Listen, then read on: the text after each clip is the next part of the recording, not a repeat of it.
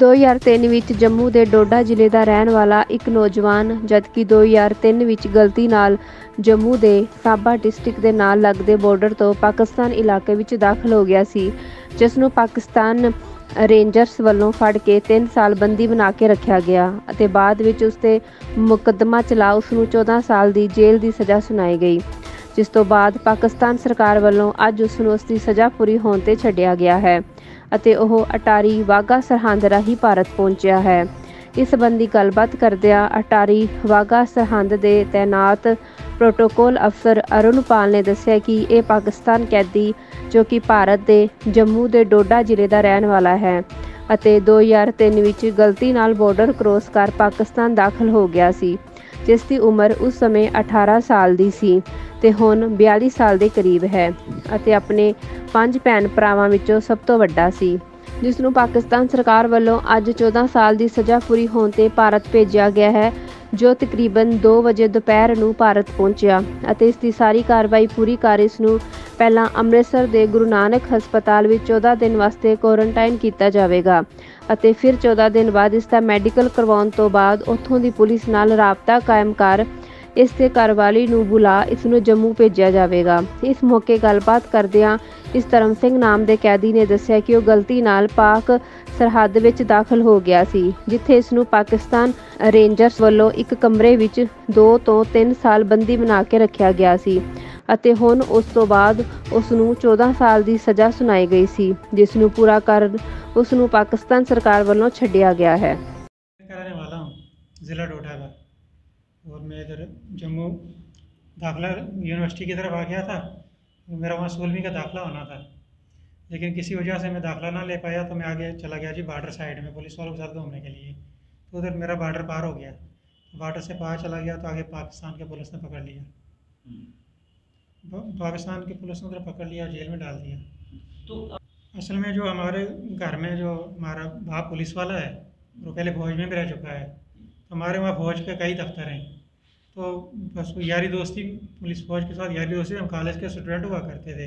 तो पुलिस फौज के साथ हमारी जो जान पहचान थी तो चलते चलते जम्मू चले गए उधर से आगे बॉर्डर चले गए घूमने के लिए। बॉर्डर से फिर हमारा जो बॉर्डर पार करने का जो तो इरादा कर लिया कि चलो आगे चले जाएँ तो आगे बॉर्डर के उस तरफ़ चले गए तो उधर फौज ने पकड़ लिया। पकड़ के हमें लेके गए पक, जब पकड़ा हमको तो हमें एक चांटा मारा गया उसके बाद लेके गए अपने उधर दफ्तर में लेके गए अपनी कस्टडी में। उधर हमें मारा पीटा गया और उसके बाद जो है तो मारने पीटने के बाद हमें कमरे में डाल दिया गया आँखों में पट्टी बाँध के और टोपी पहन के पहना के। तो फिर हम पड़े रहे कमरे में कई दो तीन साल उधर ही पड़े रहे उन्हीं के सेलों के अंदर। तो बनती रहती है वहाँ पर। कोई थोड़ी रोटी खाते वक्त खोल दी जाती है तो हथकड़ियाँ भी लग जाती है पट्टियाँ भी लग जाती है। फिर कभी खोलते हैं कभी जिलगा देते हैं इनके दिन में एक दो बार ज़रूरी लगती है। उस, उसके बाद फिर क्या? के मारा पीटा जाता है। उसके बाद फिर जो फौज के हवाले कर दिया तो फौज ने वहाँ पर जो है तो सज़ा वगैरह सुनाई। सज़ा मौत उम्र कैद और दो दो सज़ा ही सुनाई। उसके बाद फिर चौदह साल सज़ा और मिल गई।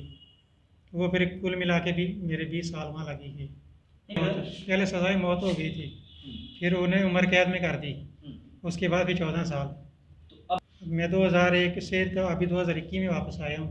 अभी 19 साल तो पूरे हो ही गए बीस में चल रहा है।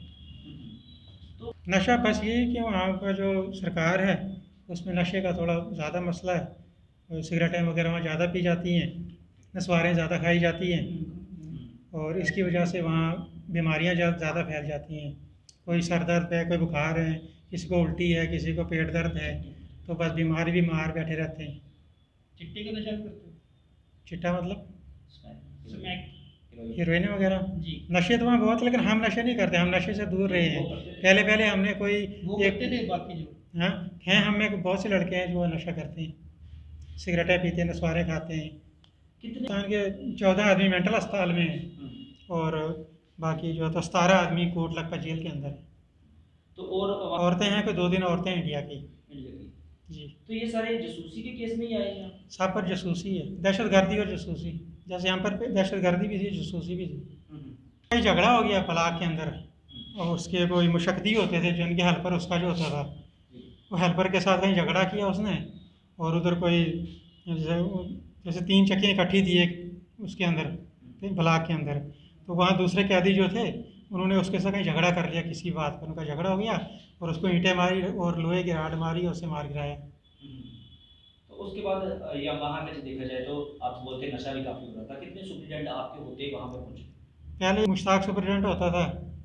उसके बाद फिर मोहसन रफ़ीक सुपरिटेंडेंट आ गया। तो मोहसन रफ़ीक के दौर में भी ये सुरभजीत जो सिंह की मौत हुई है ये मोहसन रफ़ीक सुपरिटेंडेंट के दौर में हुई थी। तो उस दौर में नशा खूब चलता था। उसके बाद कामरान सुपरिटेंडेंट आ गया। वो थोड़ी देर बाद चला गया। उसके बाद असद बड़ा आ गया सुपरिटेंडेंट। फिर नशे पे रोक लग गई। जी हम उन बीस इक्कीस साल के थे जब हम इंडिया से चले गए थे और अभी उनतालीस साल के हैं जो वापस आ गए महसूस तो नहीं होता था नहीं मुझे उम्मीद थी लेकिन बस ये कोई मालक का करिश्मा हो गया इधर आ गया। परिवार में माता अपना पिताजी हैं माता तो जी तो मर गई हैं और भाई एक भाई है सगा और एक स्टेप मदर का बेटा है और एक सगी बहन है कौशल्या देवी और भाई दीवान सिंह है और पिता हकम सिंह हो गए। जो पुलिस में सर्विस करते थे आप पता नहीं क्या कर रहे होंगे अब रिटायर हो गए होंगे। आपकी ज़मीन जायदाद? गाँव में है।